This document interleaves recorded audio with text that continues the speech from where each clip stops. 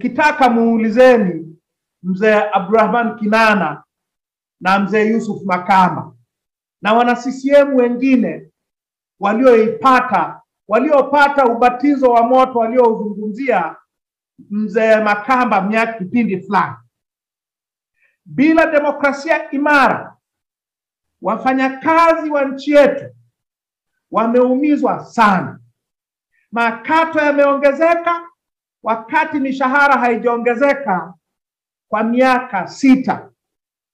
Bila demokrasia imara, wakulima wetu wawe wakorosho au wapamba au wakahawa au wazao lolote lile, wameumizwa sana, wamekopwa mazao, wamedhulumiwa, wamenyang'anywa.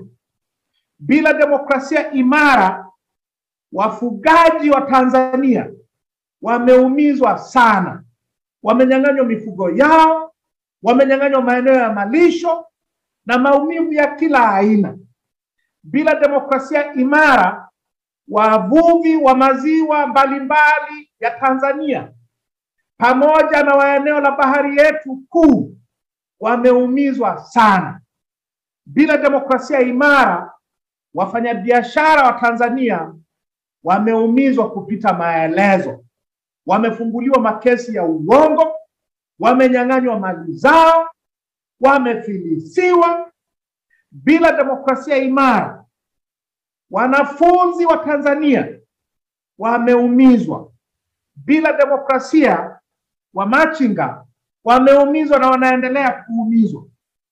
Kila mmoja wetu ameumizwa kwa sababu katika hiki kipindi demokrasia yetu imekuwa hatarini, na kwa sababu demokrasia iko hatarini, hali zetu na haki zetu zitaendelea kuwa hatarini. Bila demokrasia imara, baadhi yetu tumefukuzwa, tumekimbia nchi. Mimi nazungumzia kutoka Ubelgiji, Mheshimiwa Lema yuko Canada, Mheshimiwa Wenje yuko Canada, wengine wako sehemu mbalimbali duniani. Kwa sababu hakuna demokrasia, tumelazimika kukimbia nchi. Bila demokrasia imara, mwenyekiti wetu Mheshimiwa Freeman Aikaeli Mbowe hashiriki na sisi leo, yuko gerezani kwa kesi ambayo kila mmoja wetu na dunia nzima wanafahamu ni kesi ya michongo inayoendeshwa kimichongo na majaji wa michongo. Bila demokrasia imara, kila mtu ameumia.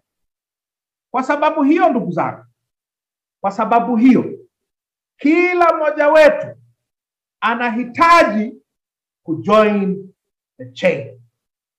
Join the chain ili tuunganishe nguvu za wote hawa ambao tumeumia kwa sababu ya ukosefu wa demokrasia. Bila demokrasia imara, ndugu zangu, wala sio uongo, hatuna bunge, hatuna bunge la kutetea wananchi, hatuna bunge la kusemea wananchi, tuna bunge la walaji, tuna bunge la wapiga vigelegele, tuna bunge la watu wanaopokea mapesa bure, hawatufanyii kazi, hawatutetei kutokana na madhila tunayoyapata. Bila demokrasia imara, hatuna mahakama huru. Ndio maana tunafunguliwa kesi za uongo, tunakaa mahabusu miaka, tunaumizwa kwa sababu mahakama hazipo za kututendea haki. Bila demokrasia imara, hatuna vyama imara vya upinzani vyenye uhuru na uwezo wa kutusemea pale tunapohitaji vinapohitaji kutusemea. Hatuna vyombo vya habari imara vya kutupa taarifa mbalimbali kwa sababu hakuna demokrasia. Sasa ndugu zangu, nimesema kwamba kwa sababu bila demokrasia imara kila mmoja wetu ameumia, ni lazima kwa hiyo, ili tujenge demokrasia imara, kila mmoja wetu anatakiwa kujoin the chain. Kila mmoja wetu katika hayo makundi yote niliyoyasema, kila mmoja wetu ana uwezo wa kutoa mchango wake. Wapo watakaosimama majukwani, wanahitaji wawekewe vyombo ili waweze kuzungumza majukwani.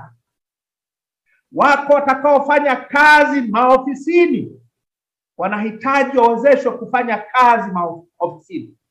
Wako watakaofanya kazi mitaani na mashambani waliko wananchi, wanahitaji wawezeshwe kufanya kazi mashambani na mitaani na mahali popote waliko wananchi. Wako watakaohitaji kututetea mahakamani kwa sababu tunafunguliwa makesi haya ya michongo, wanahitaji kuwezeshwa ili watutetee mahakamani. Wapo watakaoumia, watahitaji msaada wa tiba. Wapo watakao watakaolipishwa mafaini makubwa ya uongo, wanahitaji kusaidiwa kulipa mafaini makubwa ya uongo.